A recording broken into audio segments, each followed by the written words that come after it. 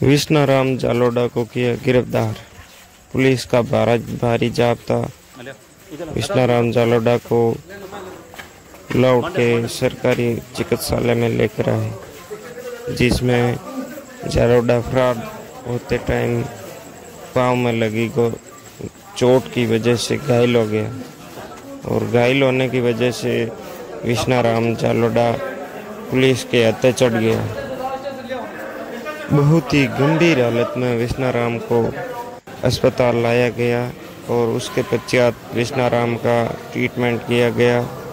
डॉक्टरों की टीम ने विष्णाराम का ट्रीटमेंट किया गया है तथा भारी पुलिस के जाब्ते के साथ अस्पताल में विष्णाराम का ट्रीटमेंट चल रहा है और विष्णाराम के ऊपर अनगिनत मुकदमे दर्ज थे, जिसमें एनडीपीएस एक्ट के भी कई मामले दर्ज थे।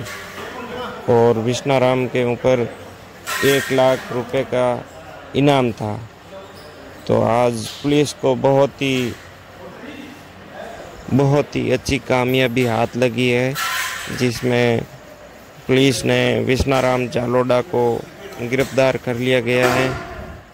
एक बात कहे तो इसमें मतलब ज़्यादातर गैंगस्टर का सरगना विष्णाराम जालोडा को गिरफ़्तार करने के बाद बहुत सारे गैंगस्टरों के सर से हाथ उठ गया है। कॉन्ग्रेचुलेसन्स